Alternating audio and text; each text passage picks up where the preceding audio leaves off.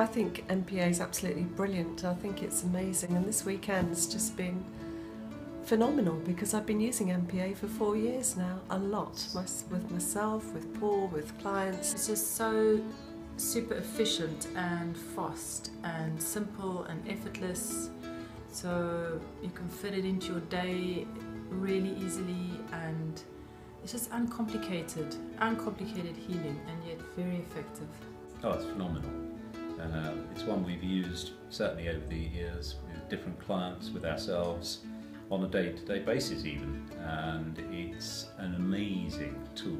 I sometimes refer to it as like a little mini process, but it doesn't even feel like you're processing anything. That's what's so weird about it. It's just this effortless transformation.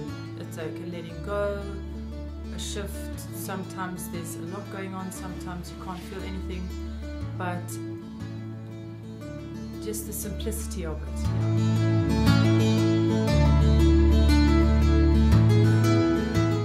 We had done uh, an NPA day some years ago with Joel just after he got going, so it seemed time to do the weekend.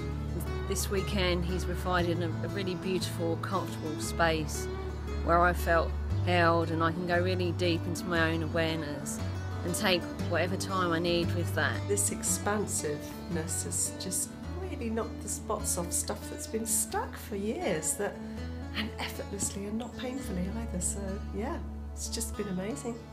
Today particularly on the expansive weekend, the second day has really blown my mind just learning about using it in a more in-depth way and in relationships and the clearing really has been quite mind-blowing so I'm really excited about using it with other people. The reason I really like Joel personally and doing his work is that it keeps it really real and simple because that's what awareness is. We're not messing around with, with sitting in the mire, focusing instead on the, the real detail and, and the, the key issue which, which really matters. It actually feels like there's a completely clear path ahead. It's really clear.